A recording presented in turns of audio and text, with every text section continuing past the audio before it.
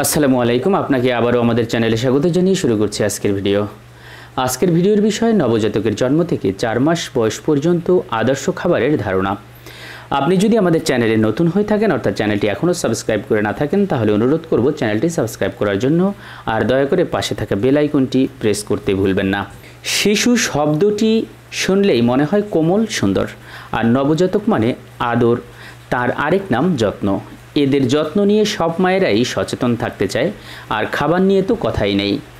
জন্মের পর থেকে পাঁচ মাস বয়স পর্যন্ত শিশুর জন্য মায়ের দুধই যথেষ্ট। মায়ের দুধই উত্তম খাদ্য। এ সময় শিশুকে অন্য কোনো ধরনের খাবার দেওয়া উচিত নয়। তবে কোনো কোনো মায়ের বুকের দুধ নবজাতকের চাহিদা মেটাতে পর্যাপ্ত থাকে না। তাই সব মায়েদের কথা চিন্তা করেই আমাদের আজকের ভিডিও। এই ভিডিওতে থাকছে, জন্ম থেকে চার মাস পর্যন্ত খাদ্য তালিকা। শিশুর জন্য কি কি পুষ্টি গুরুত্বপূর্ণ? শিশুকে কি পরিমাণে এবং কতবার বুকের দুধ খাওয়ানো উচিত?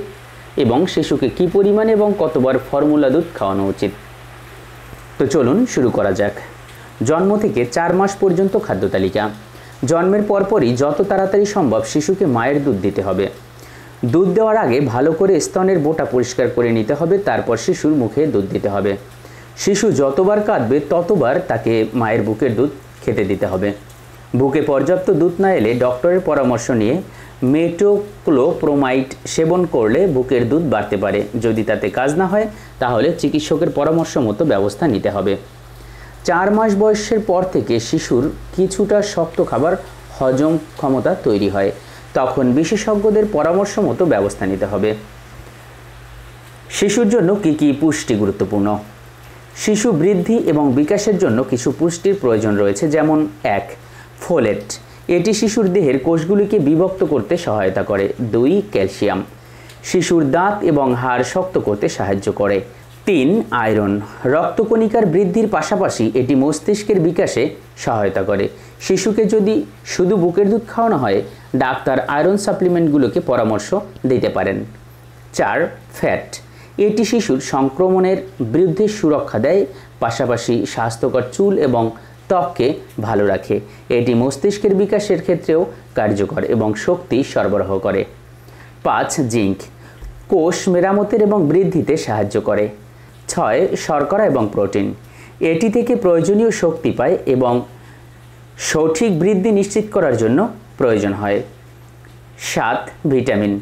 বিভিন্ন ধরনের ভিটামিন যেমন A B one B two B three B six B twelve C D E O K মস্তিষ্কের সাধারণ ক্রিয়াকলাপকে স্বাভাবিক করার জন্য এবং প্রতিরোধ ক্ষমতা, স্নায়ুতন্ত্র রক্তের জন্য প্রয়োজন হয়। চলুন বন্ধুরা, এবার আমরা জেনে নেই শিশুকে কি পরিমাণে এবং কতবার বুকের দুধ খাওয়ানো উচিত। শিশুর বয়স বাড়ার সাথে সাথে খাওয়ানোর সংখ্যা কমে যায় এবং দীর্ঘ সময় ঘুমোবে, অন্ত্রের গতিও কম থাকবে। গড়ে একটি শিশু প্রতিদিন প্রায় ছয় থেকে আটবার খাবে। যদি শিশুটি সচেতন, সক্রিয় থাকে, ওজন বাড়তে থাকে, ভালো বিকাশ হয় এবং প্রতিদিন পর্যাপ্ত সংখ্যক ডায়াপার নোংরা করে, তাহলে সম্ভবত শিশুটি পর্যাপ্ত পরিমাণ খাবার পাচ্ছে। আর যদি শিশুটি প্রতিবার খাওয়ার পরে অসন্তুষ্ট বলে মনে হয় এবং খাওয়া চালিয়ে যেতে চায় বা ঘ্যান ঘ্যানে এবং প্রচুর চিৎকার করে, তবে এটি অপর্যাপ্ত খাওয়ার কারণ হতে পারে। শিশুকে কি পরিমাণ এবং কতবার ফর্মুলা দুধ খাওয়ানো উচিত? ফর্মুলা দুধের চেয়ে বুকের দুধ হজম হয় তাড়াতাড়ি। তাই বুকের দুধ খাওয়ানোর চেয়ে ফর্মুলা দুধ কম খাওয়াতে হবে। এছাড়া বয়স বাড়ার সাথে সাথে খাওয়ানোর সংখ্যা আরও কমতে থাকবে। শিশুকে অতিরিক্ত সময় ধরে ফর্মুলা দুধ না দেওয়াই ভালো, কারণ বাচ্চার পক্ষে স্তনের চেয়ে বোতল থেকে পান করা সহজ, অর্থাৎ বোতল থেকে দ্রুত এবং বেশি পরিমাণে পান করতে পারে। প্রিয় ভিউয়ার্স, আমাদের এই তথ্যগুলো সংগ্রহ করতে অনেক সময় পরিশ্রম করতে হয়। আমরা উন্নত বিশ্বের জনপ্রিয় গাইনি বিশেষজ্ঞদের পরামর্শগুলোকে বিজ্ঞানসম্মত উৎস থেকে সংগ্রহ করে এর সারসংখ্যক আপনাদের কাছে উপস্থাপন করার চেষ্টা করি। আপনাদের দেওয়া একটা লাইক, কমেন্ট, শেয়ার আমাদের পরবর্তী ভিডিও বানাতে অনেক উৎসাহ যোগায়। পরিশ্রম করার শক্তি পাই আপনাদের কাছ থেকে। তাই ভিডিওতে একটি লাইক দিয়ে আমাদের পাশে থাকুন। সকলের জন্য শুভকামনা।